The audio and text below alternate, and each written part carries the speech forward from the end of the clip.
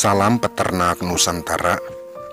Jadi kali ini kita akan membahas cara berternak ataupun budidaya burung onta. Jadi cara penangkaran burung onta agar uh, sukses. Burung onta ini termasuk jenis burung terbesar yang tidak bisa terbang. Bagian sayap yang dimiliki oleh burung onta yang besar ini digunakan dalam menarik perhatian lawan jenis serta untuk menghangatkan telurnya. Tentu jenis burung onta sendiri ini bertubuh besar, memiliki kemampuan berlari yang cukup baik. Pada bagian tungkainya sangat panjang dan juga kuat. Lalu bagian lehernya yang panjang ini menentukan ketinggiannya yang bisa mencapai hingga 2 sampai dengan 3 meter. Kemudian beratnya maksimal ataupun lebih mencapai bobot sampai dengan 135 kg. Burung jantan biasanya memiliki warna hitam dengan sayap dan juga ekor yang berwarna putih. Kemudian memiliki bagian lehernya yang panjang dan juga matanya yang tajam. Burung unta juga mampu menjangkau daerah yang jauh dengan pandangannya Tungkai burung unta yang panjang ini bisa digunakan untuk mencapai kecepatan lari sampai dengan 65 km per jam. Jadi burung unta ini e, larinya sangat cepat. Nah, untuk cara penangkaran yang baik dan benar, jadi cara penangkaran burung onta ini dimulai dengan cara pemilihan bibit bibit burung onta dipilih dengan tubuh yang tinggi sampai 7 sampai dengan 8 kaki saat sudah dewasa serta bagian lehernya yang panjang. Kemudian bagian kepala kecil dengan bulu badan dan juga yang teksturnya halus. Selain itu, lengan yang kuat serta berakhir di bagian kaki-kaki yang besar yang hanya memiliki dua jari kaki. Tak hanya itu saja, seekor anakan yang baik juga punya kepala yang dilengkapi dengan paruh yang datar. Sedangkan untuk kandang burung onta sebaiknya yang memiliki ukuran besar serta dili, uh, dilengkapi dengan pagar kawat. Lantainya juga harus tanah, tanah yang dikasih pasir dan juga dilengkapi dengan tempat pakan serta tempat minum yang dipisah. Nah, untuk jenis-jenis makanan burung onta, jadi dalam penangkaran ataupun jika kalian ingin membudidaya burung onta untuk jadikan bisnis ataupun untuk usaha, pemberian pakan harus selalu diperhatikan. Sebab burung onta ialah hewan herbivora, jadi sangat pilih-pilih makanan. Biasanya makanan yang disukai berupa pucuk-pucuk rumput dan juga benih-benih bunga tertentu. Daun-daun, benih-benih, juga butiran kacang dan juga e, buah-buahan memang sangat disukainya. Terkadang juga burung unta ini juga terlihat memakan belalang. Burung ini biasanya menghabiskan makanan sampai dengan 3 sampai dengan 4 kg pakan tiap harinya. Itu untuk satu ekor. Jadi memang e, makannya ini sangat banyak ya. Burung ini juga bisa bertahan hidup pada periode waktu yang cukup lama.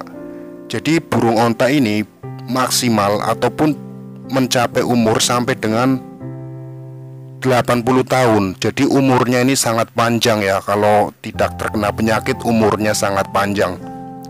Nah untuk anak burung onta tentu tidak bisa makan. Jadi pertama dia menetas anaknya ini tidak bisa makan untuk 24 jam pertama saat hidup pada dalam kantong induknya. Makanan yang terdapat kandungan serat tinggi bisa menyebabkan kesulitan metabolismenya. Beraneka macam bahan pakan segar misalnya seperti bayam yang terdapat kandungan osam okalet. Makanan tersebut bisa menurunkan tingkat absorb kalsium yang bisa menimbulkan masalah pada kaki. Biasanya sesudah dalam waktu tiga minggu, e, dikasih pelet yang memiliki kualitas baik juga harus Anda berikan untuk anakan-anakan tersebut yang sudah menetas. Nah, biasanya pada masa pengeraman pengeraman telur burung onta, burung onta betina ini kawin dengan satu pejantan dan selanjutnya akan menghasilkan 50 sampai dengan 60 butir telur. Untuk telur burung onta warnanya putih dengan ukuran besar kurang lebih sekitar satu setengah kilogram per, butir, per butirnya.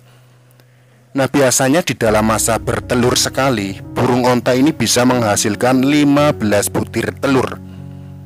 Nah untuk perkembangbiakan burung onta sesudah bertelur Biasanya ini betina selanjutnya akan mengerami telur-telurnya saat pagi hari Kemudian yang berjenis kelamin jantan akan menggantikannya pada saat malam hari.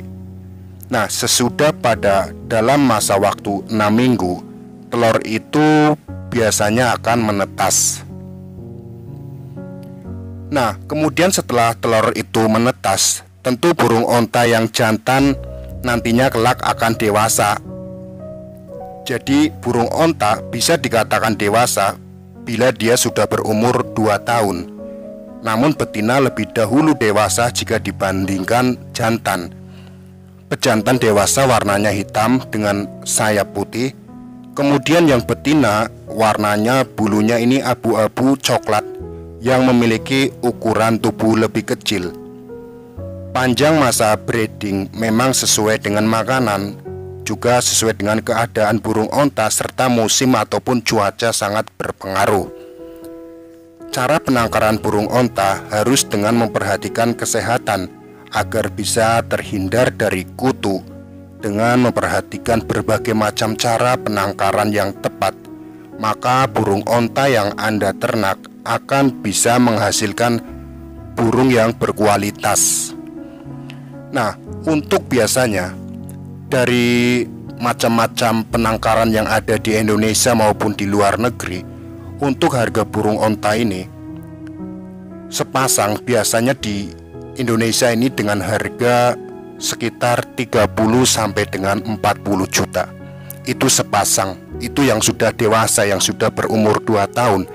Sementara yang masih bisa dikatakan yang masih kecil lah ya yang masih bayi gitu biasanya dihargai dengan harga 20 sampai dengan 25 juta itu untuk sepasang.